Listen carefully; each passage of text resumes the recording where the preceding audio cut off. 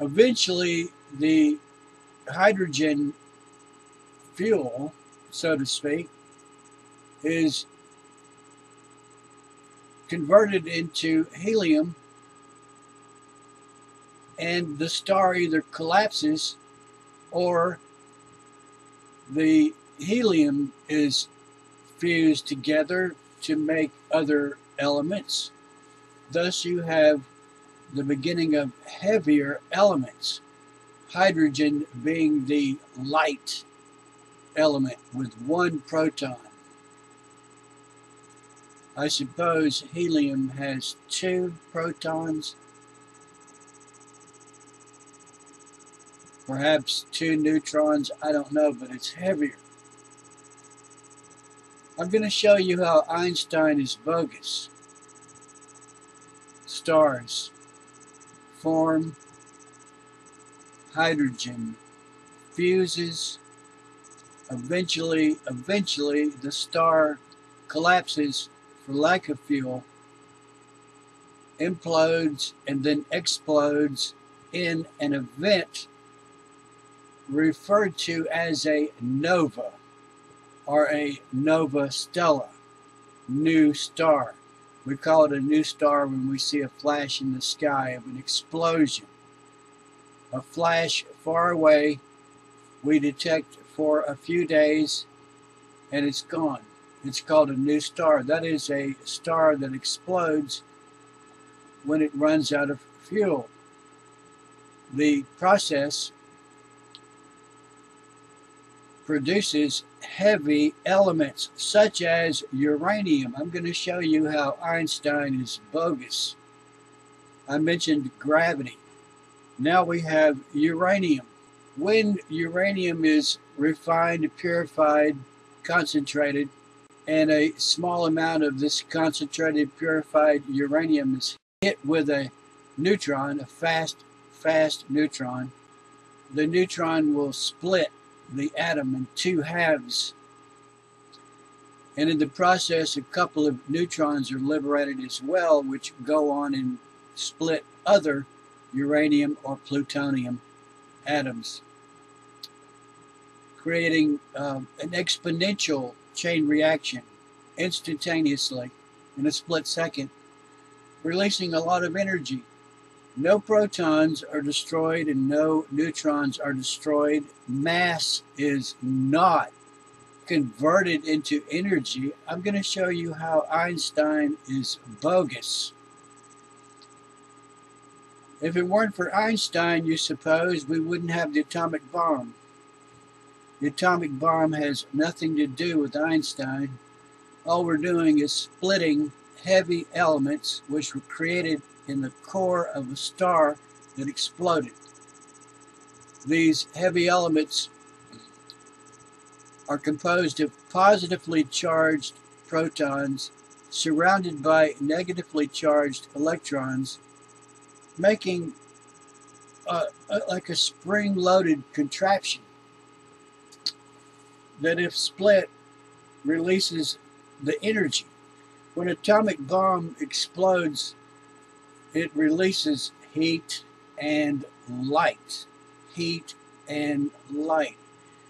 Heat and light have no mass. Light has no mass. Photons have no mass. Electrons have no mass. All the mass of an atom, whether it's helium, hydrogen, uranium, is located in the protons or neutrons in the core of the atom. That's where the mass is. No mass is converted into energy.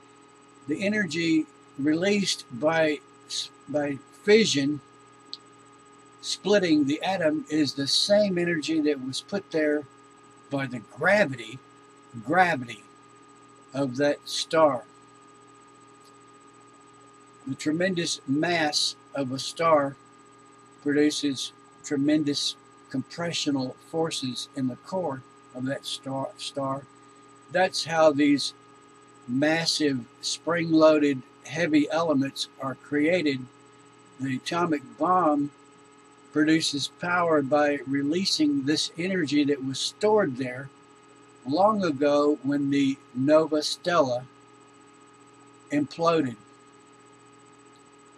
creating uranium, lead, iron, carbon, oxygen, other things.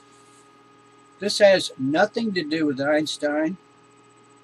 Einstein is bogus. Einstein had nothing to do with the atomic bomb. Yet people assume there's a connection between Einstein and the atomic bomb. The only connection that I'm aware of is that Einstein sent a letter to Roosevelt saying that Nazi Germany was working on an atomic bomb and we had better get started working on an atomic bomb so that we could beat them to it. But just previous to sending that letter, Einstein had said that it's very unlikely that we can release energy from the nucleus of an atom.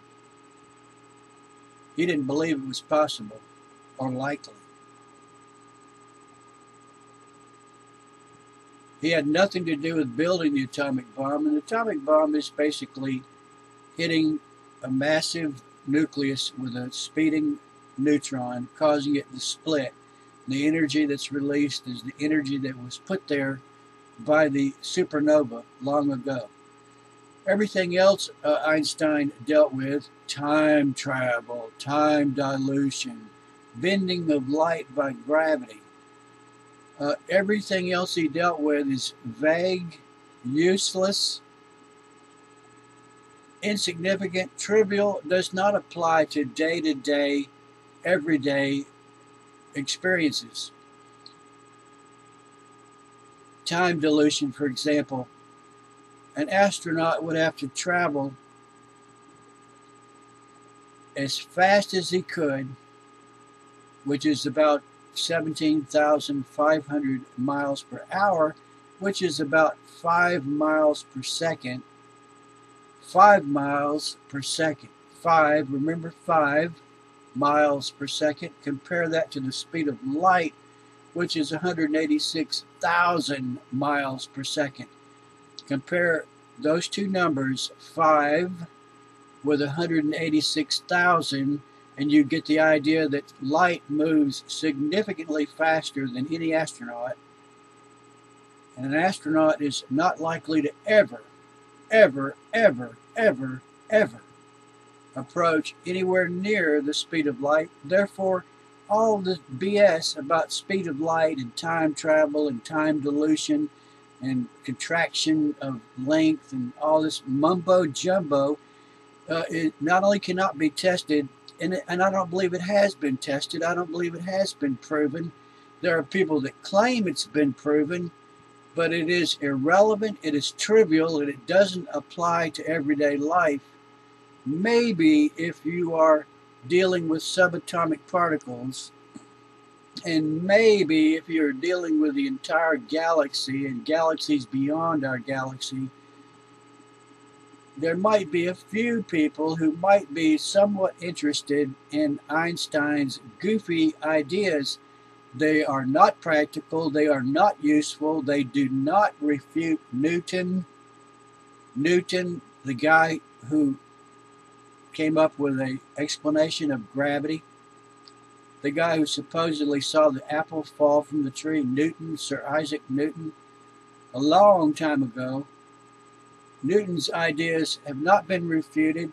Newton's ideas are still very applicable, can be used to plan space trips, put a man on the moon, and so on, uh, trajectories of uh, projectiles, moving objects. It's all it all works. It's all useful. Einstein made no meaningful, useful contribution. His ideas are mumbo jumbo fantasy cannot be proven. They don't apply to anything. They're useless. So why are there so many people in the world who appear to worship and defend Einstein? It's like a cult. It's a cult. Admit it.